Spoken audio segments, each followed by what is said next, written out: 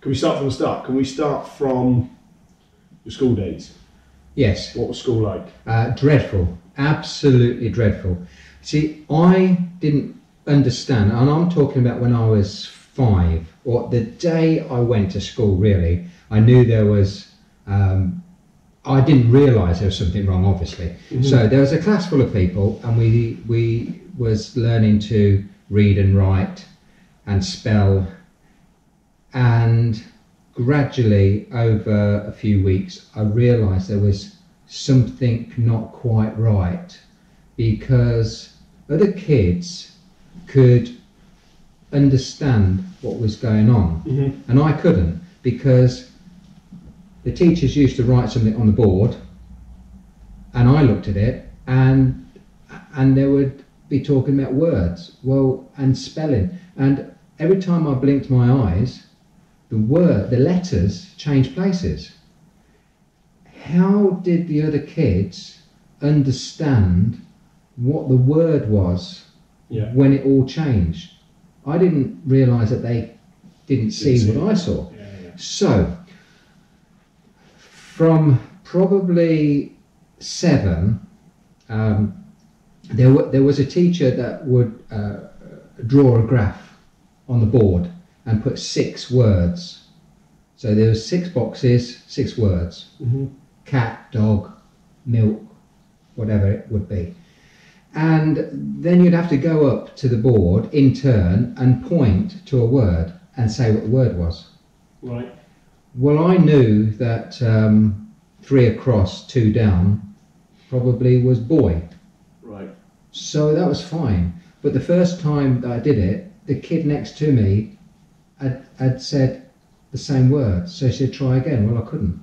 So I devised this system at six year old, seven year old. I devised this system that three across, two down was cat.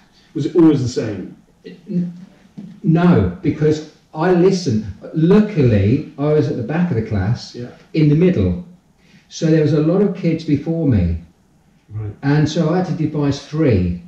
There was uh, like one, one across, two down, three down was dog. Mm-hmm. And then there would be another one, cat, and another one, run, for instance. So I'd got three options. Yeah. So I figured that out.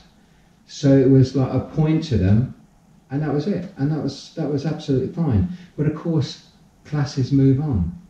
Books Words change. yeah, words change and books start to, to come out. And um, so it was just uh, with getting told off and saying you don't pay attention, you get, um, well, in, in my case, I got beaten, right? So therefore, uh, they teach you truancy Yeah, yeah. because you don't want to get beaten. So you know on a Wednesday afternoon you're going to have spelling, so just you're ill Don't turn up. you don't turn up. So if it's like on a, a Wednesday morning and uh, it's reading, Tuesday night you set the scene with your mum and dad. I don't feel very well. And this is not like Neville because he's gone to bed early. Yeah. It, it's because of fear of the next day. Wow. So the next day, you don't get up and you don't get out of bed. You don't want to, and you say, "Oh no, I was," and they go, "Oh, he was ill last night." You know, and it was like, Was that every every Wednesday then? yeah, much? oh yes, yeah, because you, and and uh, that's what happened. So you had to be very creative Yeah. because you didn't want to get beaten. Now, if you if you lied to your mum and dad, they would beat you as well. Or if you said to your mum and dad, the teacher beat you, well, they'd beat you because the teacher must have had a good reason. Yeah, yeah. And it was like A real vicious cycle. yeah, a vicious cycle, uh, and it was dreadful. And then they and I couldn't explain why I couldn't read, so I said I can't see the board, meaning the words keep moving about, uh, and I thought that was normal. Right. So they moved me to the front of the class. Then they moved me next to the teacher. So then you became the class clown. And then every time you couldn't read, they'd put you in the corner of the classroom and then people would throw stuff at you. So the teacher encouraged the kids because the teacher was horrible to me, so they encouraged the other kids to be horrible. To reflect that behaviour. Yes. So this is, you know, and it's a, a, a downward spiral from uh, from from there. And how old? This was like right at the start of school. Yes. Was it sort of four or five years old? Yeah, I think I went to school about five And did that continue then until uh, until I left school. until you left school? Until I left school. Ten Yeah. or twelve Yeah. years later. Yeah, because the first thing I ever read was uh, in uh, about five. The teacher uh, sat at my desk and opened the book, and it was fire, fire, fire, fire. The fire engines raced down the street, and the crowd shouted. Right. So I remembered that. So she said, "Now you read it." And I said, "Fire, fire, fire, fire!" The crowd shouted as the engine raced down. And she said, "That's fantastic. That's good. That's brilliant." Turned over the page, said, "Now you read this." So I couldn't. Mm. I hadn't got a clue. I, she hadn't told me what it was. I couldn't remember. Well, I couldn't remember because she didn't, didn't tell me. So then she said, I'm being awkward. Then, you know, then you're classed as a little sod Yeah. And you're disruptive. Yeah. Yeah. So, anyway, that was my. sc- 11 years old, What, right? what kind of what kind of personality traits do you think that built up in you? Um, it, it, I, I think it built up something where you've Obviously a got to creativity use of- you've got to be creative. Yeah. So you've got to be really creative of how do you get out of school. So a thousand different reasons why you're ill, why you can't do it, you know, and um, and, and and things like this. So the dumb kids uh, ended up. Uh, the teachers didn't bother with you, so you ended up on the school playing field, pulling a cart and throwing stones in. Every time it rained and the stones come up on the playing field, you were the ones that pulled the cart along and picked the stones up and threw them in the cart. It's punishment. Well, that's all he was good for. So there was me, you know, the uh, we didn't. Nobody knew he was dyslexic. All got ADHD, running about, you know, jumping up and down everywhere and can't control yourself. And it's like there was me. There was a, there was the boy with the limp. Yeah. There was there was the unruly one who'd been to Borstal, you know, and, there's, and and there was the one with the stutter, and there was the big fat kid and the small little runt, you know, and it's like all these odd people Yeah. that we would pull this car. Do, do you remember anyone else within your school being dyslexic then, or were you? No, I didn't know. Anyone? Nobody knew what No, so no one had no one had a similar sort of No, problem. you were thick. Yeah. Yeah, there was people who was thick and unruly. Mm-hmm. And I was in that kind of in category in the bracket. Yes. So, um, but it does uh, it does affect you because I remember eleven or twelve years old wanting to end my life because it it was that bad. Yeah. You was getting bullied from the teachers, bullied from the uh, kids, and um, and then you couldn't go to your dad and mum because in those days they they would cane you for not taking notice of what was going on at school. You know, so it's from all nowhere to directions, and, and you got nowhere to turn. You couldn't tell anybody. Um, so so therefore, you really really did want to end it. And if I'd have known how to have killed myself, I probably would have killed myself. It's that bad. Jesus. And so th- it's not just me. I mean, there must it must be thousands of kids like Mm. me. And um, so, but but there we are. I remember one day I was uh, about fourteen, and I got long hair. Um, in those days, 1964, and uh, we was having a we was reading. So each kid would read in turn, and, and, and the better you are, the less you'd do it. And the teacher would say, next, next, next. I didn't even know what page was on.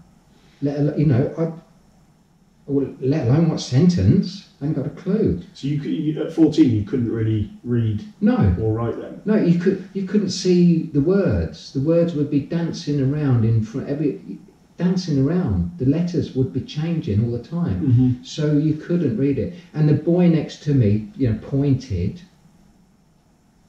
Well, he pointed to some words that meant nothing to me. So I just froze. And um, the teacher come up to me and grabbed my hair, the back of my hair, and twisted it round and pulled me off my seat and shouted in my ear, "Read it, boy, read it." Well, I couldn't. You know, it's impossible. Um, and uh, I started to cry, and all the class started to laugh. And by this time, there was a big lump protruding out of my head. Yeah. Now, this was a boy that could afford his own leather jacket, where all the other kids in the in the class had plastic jackets. Mhm. You know, the imitation. But I had my own money, so there I was, dressed in a proper leather jacket, uh, white t-shirt, ice blue jeans, Cuban heel boots. I, you know, it was like I I was looked the part, Yeah. but the brain didn't work. Yeah. Yeah. And when we come out of that class to go to another class, there was a load of boys in front of it. It was a boys' school, and it was, uh, and they were saying how thick I was and how dumb I was, and and I said to them, next year we leave school, you will all get jobs. I will get a secretary. I couldn't believe I said, where did it come from? I don't Yeah. know where it came from, but that set the scene in my head. Yeah. I cannot do it, but I've got to get somebody who can. Yeah. And so that's the kind of stuff that um, teaches you, you know, because if you can't conform, you've got to do something yourself. Yeah. So So where did you get the leather jacket money from? I always had a job. Ah, I. I, I always was uh, um, an errand boy. Always did people's gardens. Yeah. Always collected old bottles, you know, where you got threepence back.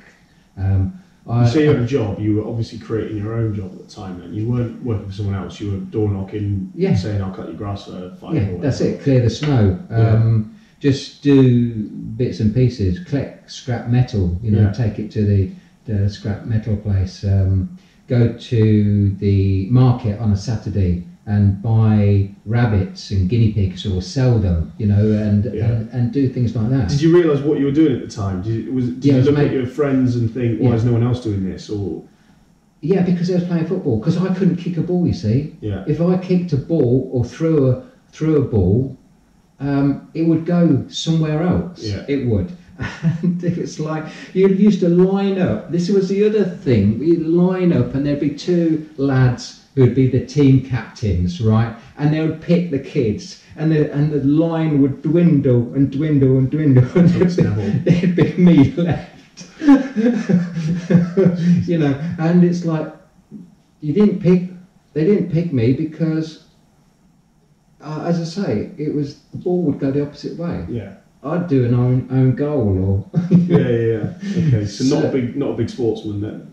no, no. So you were obviously honing your craft in terms of learning how to negotiate and learning, you know, to buy at the right price and what stuff would sell. And yes, You were learning how Yeah. to be a trader almost then. yes. So uh, yeah, so it's from an early age because I couldn't go on a Saturday morning to the playing field and play football hmm like most people did. So I had to figure out what I was going to do. Well, I always had job. I wanted money. Did anyone around you at that time recognise that you were a little bit different doing that kind of thing? Did anyone say, "Oh, Neville's got a leather jacket and everyone else hasn't"? How's he got that? Or is it I don't know. I don't know. Was I it think something your mum and dad recognised, or no, no, you obviously didn't really understand the severity of it No, I didn't. at the time? uh, no, I didn't. Not until I was about forty, and then I had a test. And I had a test with my youngest daughter. Yeah, She was going, and and I kind of plucked up courage to go myself. And they go, well, actually, your IQ, you could have gone to university. I go, well, I couldn't because I couldn't read. No, because age forty, there was there was um, by then there was helping people in schools. Mhm. They realised what it was. they got it. Yeah, Yeah, and they said, "Oh, you, you know, you could have gone to university." And I go, "Well, in that, no, I couldn't because in those days they didn't realise." when did you actually learn to read and write then? Um, gradually, just gradually. Yeah, I was doing an email last night. Um, it was about eleven o'clock, and I was, and Marion was going to bed, and I said, "Don't, don't, no, don't go to bed. You need to, to read this because, you know, I, I do, I do ask a lot, and of course there is this, uh, what is it? Grammarly, Oh, yeah, Siri, Yeah. and that, but they still don't understand. You know, I can write words that even they don't understand. They say there's no meaning to this word. so um, yeah, I ask I ask people how to spell, and I go, oh, hold it, no, three letters at a time, please, Yeah. because I can get three letters at a time. But it is it's, it's, it gets better as time goes on. hmm It does. But I realised that for me to um, achieve my goals and my ambitions and my wants and needs and everything like that, I needed to help people who could help me. And so, therefore, I ended up with 120 people around me Yeah. who could do everything Yeah. everything, anything I wanted and everything I wanted, but I was there also to protect them. hmm So it was a two-way street. Even though we, you know, very often they didn't know that I'd be protecting them, and I didn't know, you know, that uh, they probably didn't know I was dyslexic, but most of them did. Yeah. yeah, the core people who was around me all the time, they used to do it for me. They used to finish off my sentences. Um, they oh, they was really great. They were. Okay, so let's let's go back to the start of this then. So before Rainbow Warehouse, there was there You was read the the book? I haven't read the book. No, I've just just done a bit of research. So how did how did sort of the business start in its in its earlier form? Well, we had. Um, I, I met Marilyn when, when she was 15. I was 16. I just turned 16, and um, within six weeks we decided that we was going to get married, uh, have a family, and buy a house because we wasn't going to rent. Yeah. So therefore, it was set that these things were going to happen. Where did that notion come from that you didn't want to rent, you wanted to buy? I didn't want to. I wanted, didn't want to give my money away. I wanted to. Um, somebody said to me when I was about uh, ten, I just collected some scrap metal from them, and, uh, and and part of it was a bed, a metal bed, which uh, collapsed, and uh, I put this on my cart, and I was going down the road to take it to the scrapyard, and this guy come to me said, "Oh, Neville, um, what are you doing with that bed?" And I go, well, "I'm taking it to the scrapyard," and he said, "I've just bought a, a house in Skegness, which I'm going to rent out." He said, "We, you know, we're, I- I'll buy it from you." So he said, "How much do you want?" I said, um, "I don't know what we what we're giving." He says, 15 shillings." 15 shillings. What? I'd only got about two shillings for it in the, in the scrapyard. Yeah, two shi 15 shillings is 75 pence Yeah. now. Uh, I don't know what it'd be. You know, probably a tenner or something like that. And he said, "What are you going to do with the money?" Because it's quite, you know, a ten year old, quite a Yeah. lot of money. I said, "I'm, I'm going to buy a house." and he says, "You'll do well." Ah, that's probably the first person that ever praised me. Yeah. And who was it? Did you know? Was Oh, just- yeah, it was. Uh, he was an electrician. He lived down our street. Um, and in actual fact, when I started renovating houses, he uh, rewired lots of houses Really? for us. Yeah, and his son went into the business, and and and so yeah, it's um. So so I, I knew him. You know, he knew he knew me. Most of them, or they all knew me round where I lived. You know, all the old people. Neville the character. Well, I, it, you, this is the lad who'll take take all the newspapers away, or Yeah. you know, Clear your garden or- clear your garden, or Clean your windows or whatever. It was. whatever it, whatever it be. Yeah. Okay, so you've met Marilyn. Oh yes, You're yeah, thinking about getting married. yeah, yeah, and um, and uh, what was the question? I can't. The question was, what what were you doing after you got after you sort of met Marilyn and you were you were thinking about buying a house rather than renting? yes, yes. So we we hadn't got any. We wanted to save the money, so um, Marilyn was a hairdresser, Yeah. and she was on about uh, three pounds a week, and uh, I was on about ten pounds a week at that time, and um, and so we lived on her money and saved mine. So we didn't go out. Yeah. Um, so we'd go for walks. That's what we did in the evening, go for walks. And, uh, and, and we had the Freeman's catalogue. Yeah. It was a catalogue that had all the household things. So what we did, we made a list of everything we wanted in the house. And we wasn't going to buy it. We just got the list. And so we went to people and said, uh, like my mum and dad, and said, um, you, you really need a new Hoover. You know, because this one's like 20 years old. Why don't you get a new Hoover? We'll and, uh, and we'll have your other one. so we collected everything from the house, Yeah. and everybody found out that we was collecting for the house, and they'd go, "Oh, you can have this and have that," and we didn't need much anyway. Um, so uh, that's that's what we did, and I made some bedside cabinets in the evening because I went to a, a woodworking um, class. Mhm. I did. You didn't have to read or write in a woodworking class, you know. So uh, thing, things like that. And then we used to look at houses.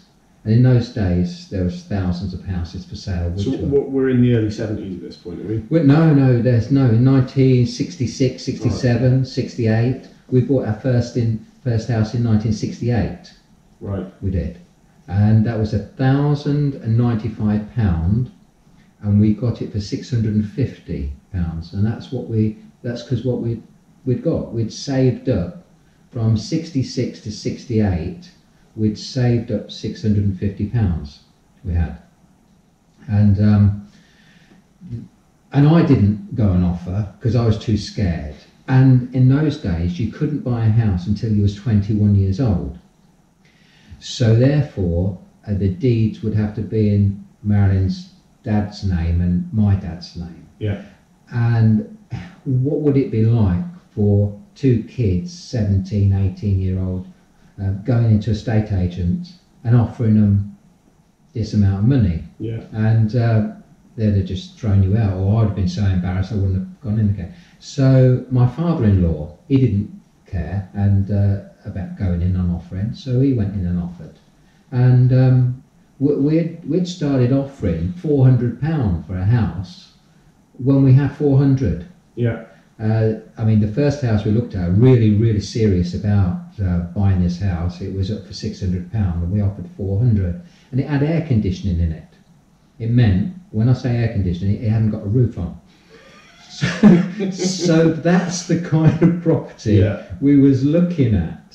So, Did you have any? Obviously, you're a young man at this point, 17 years old. I take you didn't have any building experience or property maintenance experience. You just trying to No. buy what you could afford. No, we we wanted a brand new three bedroom detached bungalow, and it was three thousand pound at the time.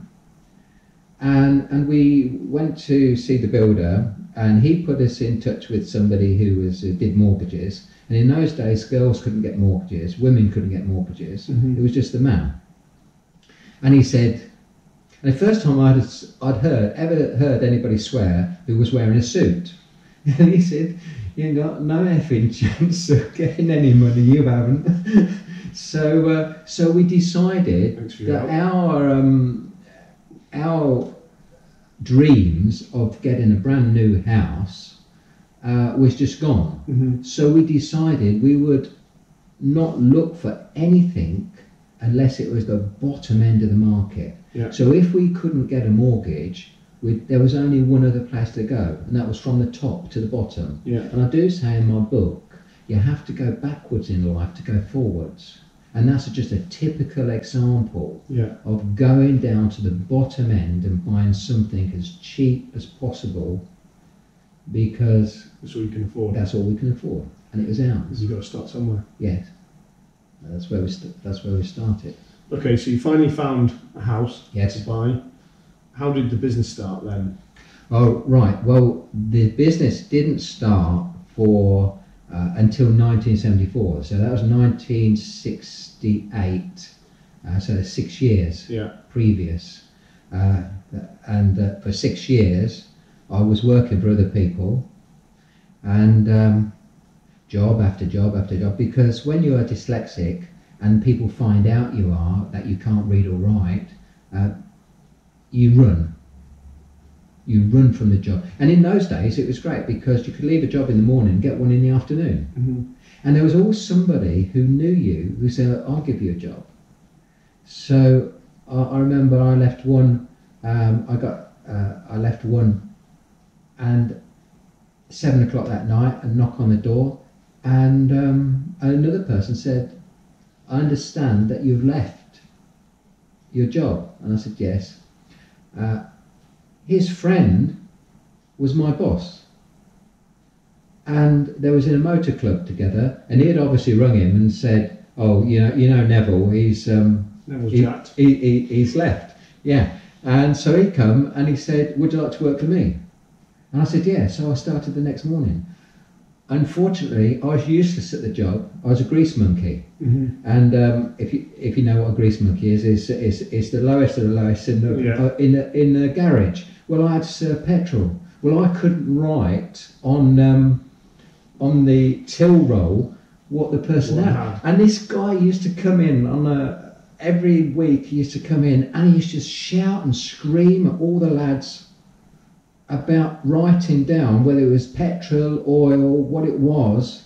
He knew it was me, but I lived across the road from him and he didn't want to, I don't know whether he didn't want to upset my dad. He should have sacked me. Yeah. He should have sacked me. And anyway, in the end, I said, look, I've got to go because I'm useless at this. And um, How long did you last there? uh, six weeks. Really? So I went to the Cart Bakery. It's longer than I thought it was going to be. yeah, yeah, he was very good to me.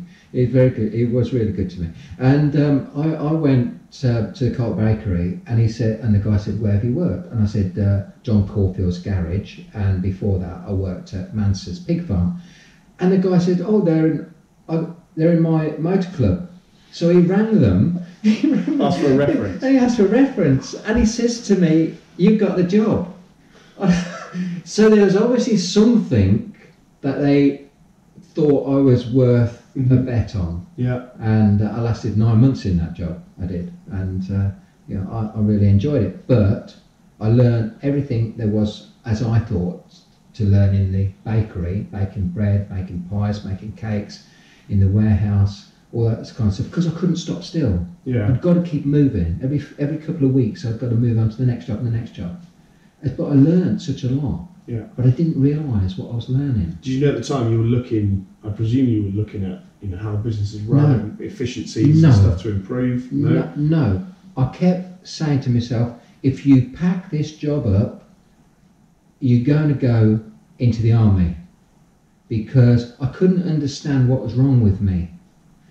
But I had this dreadful thing of learning something. I was so enthusiastic. I'd, I'd learn how to bake bread, and then the next thing I would say to the foreman, "Can I go on to meat pies?" Can I, and then I'd learn butchery, and then I'd say, "Can I go into the warehouse?" And I'd learn that. And I kept saying to myself, "If you pack this job up, you are definitely going to go into the army." So I packed that job up, and uh, I went into Perkins Engines hmm it was, and I kept saying, if I pack this up, I'm going in the army because I wanted to discipline myself. Yeah. And To have a um, bit more focus. yeah, and and that's, but I, I didn't go in the army. Um, I just kept having jobs, Yeah. and then I got sacked at uh, s- no, s- 1973, 74. 74, I got sacked from uh, the Ministry of Defence, and we was living in a caravan at the time because I'd, I'd bought and sold four houses, and I began to think I was a builder, Yeah. but I was rubbish because the last house I got Sounds like most builders, to be honest. yeah, last house I got was seven and a half thousand pound, and I didn't realise um, I got a mortgage because I'd got a job. I got a mortgage for I think it was about four thousand pound, and then I thought I was a builder. So every night and every weekend, I'd I'd bit, I, I was working on the house. So Mhm. first of all, I'd rip I ripped the windows out. I thought that's jolly good. That's easy. then I'd rip the walls out, and then I'd rip the plumbing out, and then I ripped the electrics out, and then I took the chimney stack down. And there's a big hole in the roof, and the You were living in the house at the time? No. I was living. In, All right. We was living in a caravan because the house wasn't fit to live in, not from the start, hmm and and um, therefore we lived in the backyard. But I couldn't. I, I didn't get rid of all the rubbish. It all went in the backyard. So it's just. It was dreadful. you, It- oh, I brought the row of houses down probably by fifty percent Yeah. the value of them. I didn't realise this, and um, and then I got made redundant, and uh, and the house was worth like two thousand pound. I bought it for seven and a half.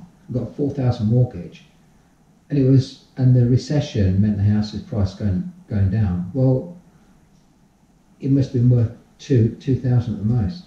So that is when um, uh, three months on the dole, and that's when we decided that I'd got no chance of getting a job. There was millions unemployed. There was a three-day week, uh, so factories could only work three days, and um, and that's when I decided the only way uh, that we would get anywhere was to look after ourselves, because um, being on the dole and um, being on benefits, and I can tell you this: there's no benefits to being on the dole. No. And uh, I, I wanted more money. I wanted another two pound a week to survive, and uh, and they suggested having another baby.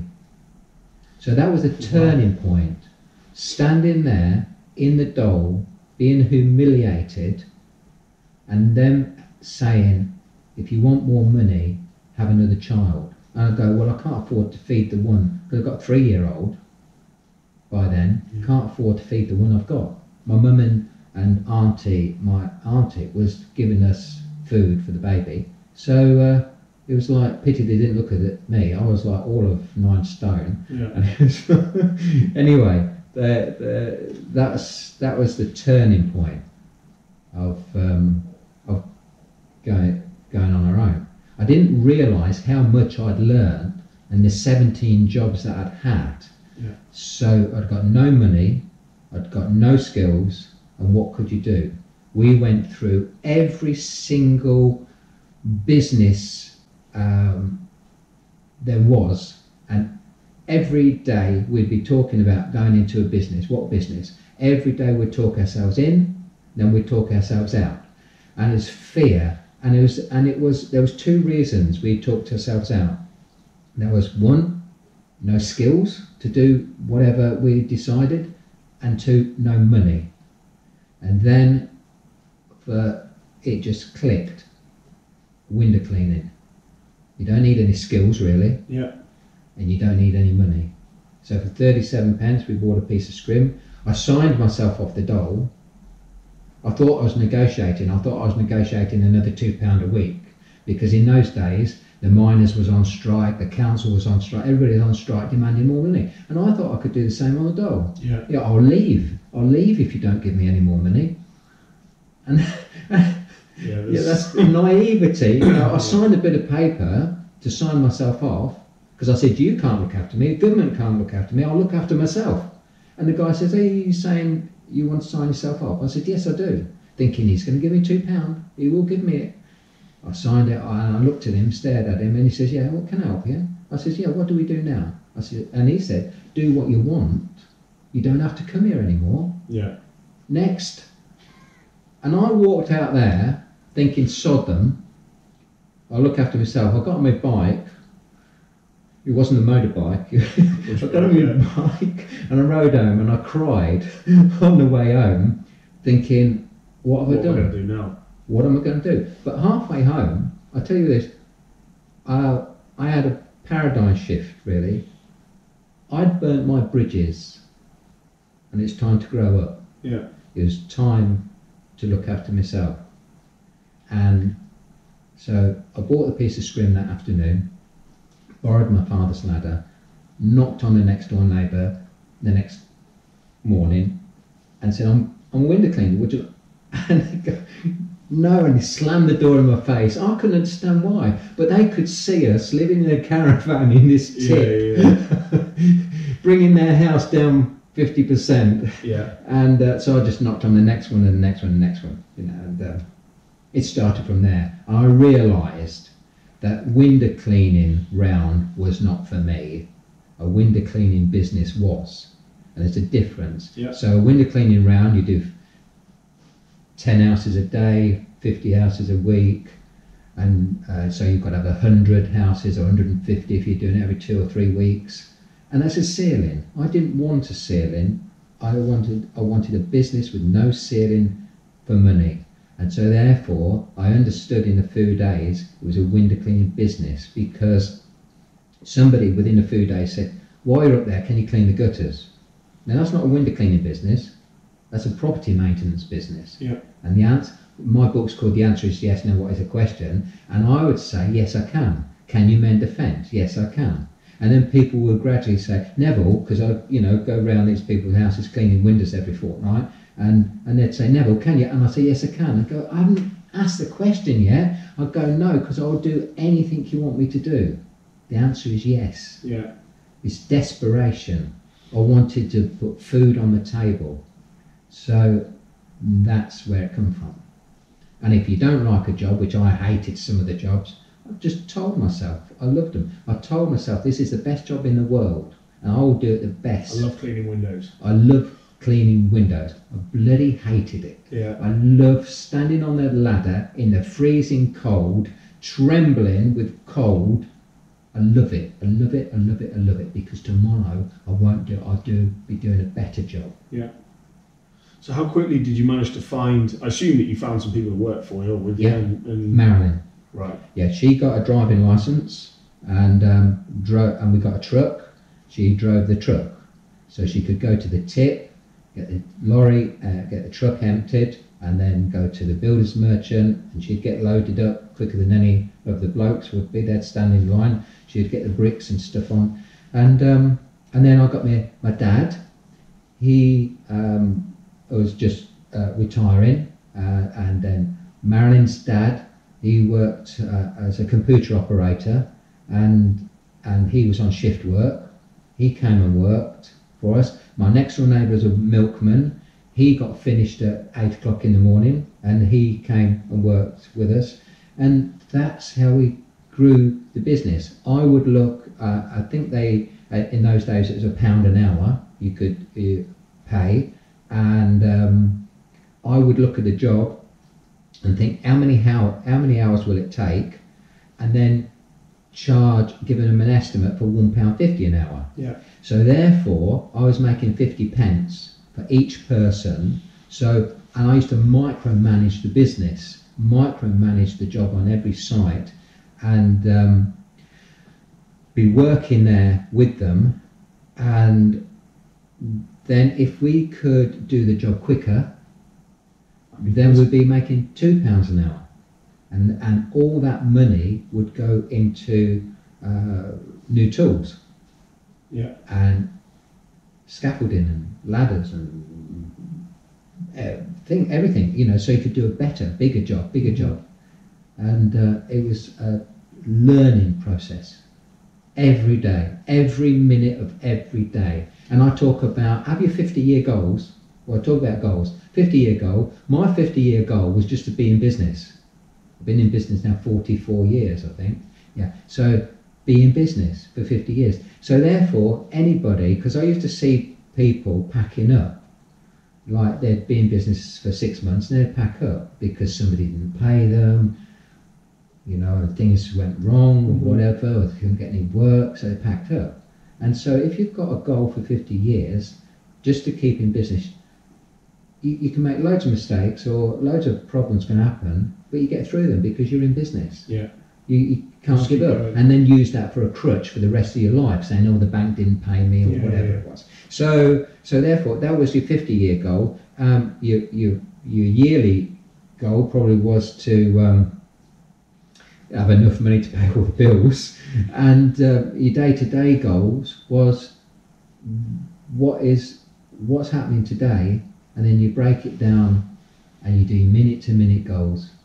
Yeah. If you've got four or five people around you, you keep them fed with materials and proper micromanaging. micromanaging, yeah. And then you double the amount of output. Yeah. You do. So And were you at the time, obviously, you were putting money back into tools and stuff. Were you thinking about buying more properties and investing that money? yeah, it was a dream. Yeah, it was. Uh, we moved. Uh, we was constantly moving uh, houses. Yeah. So as soon as we, as soon as the um, price of the properties started to go up, and as soon as we had renovated our house that Built we was living in, into it, you will sell it again. sell it. The day that the paint dried on the last bit of skirting board or whatever, it was up for sale. Yeah. And then we didn't mind going backwards. So we went from a four bedroom house to a two bedroom house. And people go, who knew us, why have you gone from a lovely area to a house which is tiny and it's got two two bedrooms? Why have you gone? Because I couldn't afford to heat the four bedroom house. We didn't need a four bedroom house with a big garden. We want we wanted the money. So And what kind of stress did that put on yours and your wife's relationships? Oh, you young, you had a young child at the moment. No, no, like this is this is a nice house. Let's just settle here for a bit. There was no issue because Really? Marilyn was desperate for security. And that security didn't belong in that house. Yeah. There was no security in that house, which was too much electric, too much rates. So You you know, both just held that long term vision in your heads of yeah. paying off a house or whatever. I won't say house. it didn't upset things because when she saw her friends having a nice house and a nice life, money for clothes, Mhm. money for the Disposable children, income. money for you know themselves going out, having holidays. Yeah. Um, what happens in, in, in that case from time to time is um, uh, water comes out of your eyes, and it come out of her eyes a lot. Uh, you know, but she understood as well if we wanted these things in life, then You have to make short term sacrifices to get it. you do. And the more we went on, the more we saw people who uh, didn't make those sacrifices coming up against problems. Yeah. But it takes years. And at the end of the day, we used to say, we've survived in a 10 foot caravan, so therefore we can go back to it. Mhm. So we never kept any money for ourselves. It all went in the business because that money didn't belong to us. It belonged, it belonged to the business as far as we was concerned. So we was living a very frugal life for the first 10 years. Yeah. So it's, um, That's quite a long time as well to live a, a life like that, going from a nice house to back to the square one, and But it was also, you looked on a positive side, it, it was, there was a lot of fun. There was a lot of fun in creating, um, being able to do bigger jobs. Now, when people was asking, uh, when other people that we knew was going to a customer and saying, I need a deposit and I need paying each week or each month, we could go to a customer and we could say, oh, that job's going to be three thousand pound. I'm talking about after a couple of years. Mhm. That job will be three thousand pound, and they go, "Do you want a deposit?" And go, "No, don't need. Oh no, I'll have the money when I'm finished." They were with people that we knew. We'd done the window cleaning, Yeah. we'd done the garden, You'd grown with we had done the painting, and then they'd want an extension we knew those people. Those people knew us. And so there was a, a trust. I probably had their keys in my truck Yeah. because I ended up, people would say, You're never going to work in my house again because you work here till 12 o'clock at night. You'll never work in my house again. Um, one guy said to me at that, and I was so despondent. I thought, oh no, I've lost this job. And he goes, well, not while I'm here. I'll give you the keys, and you'll come when I'm on holiday. Yeah. And that's how people were. So therefore, if I had the keys for their house and I had their trust, then why should I ask for money if I didn't need it? Yeah. I ask for it when it's finished. The day it's finished, You won't pay him. all won't pay. Yeah. Yeah. So um, Okay, so why why didn't you sort of scale that business up and keep that going? What what was the reason you changed course? um, we we changed we changed course. Well, before we made that decision, um, Marilyn had got quite a few derogatory remarks when we turned up at somebody's house that we'd never done a job before. So we was probably going to do the decorating or mend a roof or whatever. And and um, invariably they'd say, "Oh, have you brought your wife?" Because in those days, you know, 75, 76, 77, people didn't see women on building sites. Yeah. So we used to do subcontracting for other contractors, and that wasn't didn't seem right. With Marilyn would be on the site. There would be six of us going on site, um, and and they and the other guys didn't like it. The women didn't like it when um, Marilyn would go in their house and decorate their house. Some of them. So you're only got to have one or two people who's very. You have some derogatory mark, remarks, um, and um, and Marilyn said, "I don't like this. I, I think now we've grown enough. I'll have an office. So instead of doing the bookwork at home, I'll do. I'll, I'll get an office. Mhm. So we we bought a terrace house to turn it into an office. And then she said, "Well, it'll only take three or four hours a day to do the bookwork. What can we do with this?" And there were some shops nearby in this terrace of houses. There were some offices and shops, and and so we said, "We'll have a shop." Never had a shop before. What can what? How can you fill a shop? Well, we've got a three hundred pounds saved up. What can you put in a shop that we knew about? And we didn't know anything about shopkeeping, but um, we thought, well, we bought a second-hand pram for our baby, and we bought a second-hand cot and second-hand high chair. Yeah. So we So knew everything. We knew everything. we knew everything there was to know about um, nursery business. Mhm. So we went out at night. Uh, we had a minivan at the time. Went out at night and uh, with a newspaper, people used to advertise the second-hand prams. Yeah. And and bought all these prams, and um, and then started the shop. And then Marilyn didn't have time to do the bookwork. Now she's got two businesses. Mhm. Didn't have time to do the bookwork because it was it was busy in the day. So that's where we started, and we grew both businesses. So I was on the building side, Yeah. Marilyn was on the retail side. So we grew those businesses until we'd got to make a decision. Were were we going to Fork Become- road sort of time. proper builders, or was we going to become shopkeepers? What was we going to do? So we had a re- we went to Great Yarmouth uh, to uh, hired a caravan for two days, and we sat there in the freezing cold.